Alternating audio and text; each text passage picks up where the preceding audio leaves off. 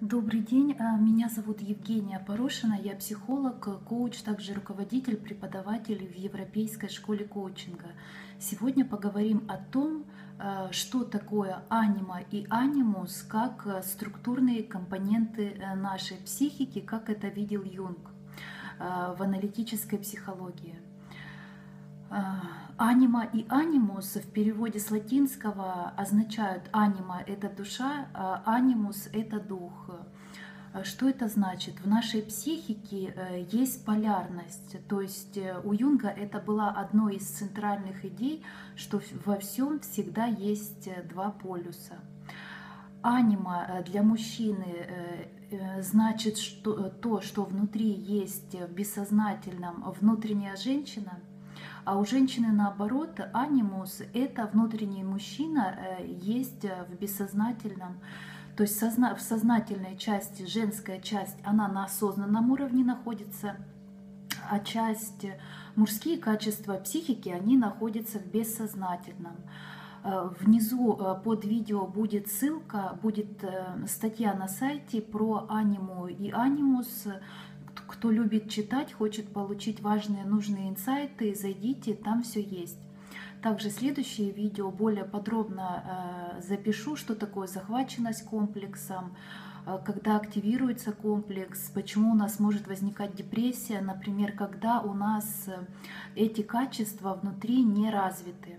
То есть, когда идет активация этих внутренних структур психики, анимы у мужчин и анимуса у женщин, тогда э, происходит такое состояние эйфории, как влюбленности. Когда эти внутренние структуры внутри э, не развиты, э, спят, тогда может возникать депрессия. То есть с этой точки зрения можем смотреть. Например, наша персона — это те маски, те роли, которые мы играем в социуме. Да? Наша персона помогает нам адаптироваться к внешнему миру и наша анима у женщин, э, анима у мужчин и анимус у женщин, вот эти внутренние структуры противоположного пола, да, позволяют нам э, адаптироваться к своему э, внутреннему миру. Поэтому также в процессе терапии эти структуры также активируются, либо в процессе личностного роста.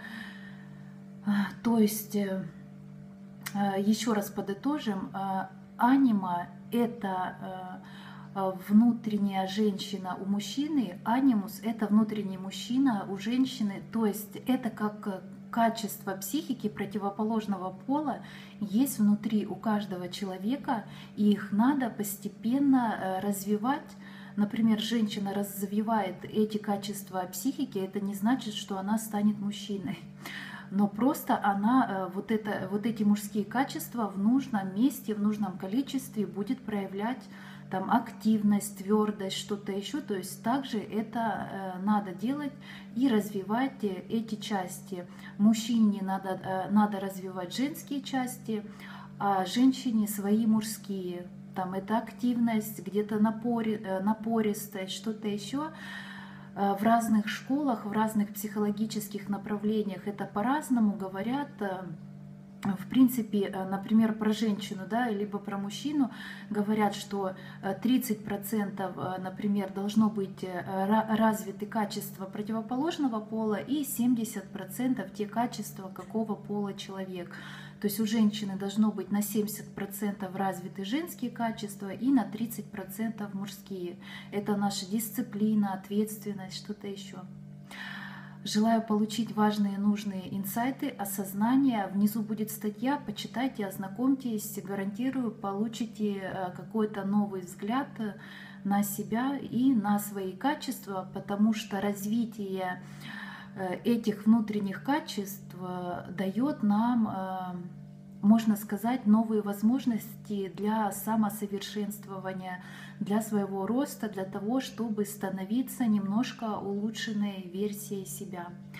Если есть вопросы, задавайте под видео, с радостью отвечу и всем хорошего дня.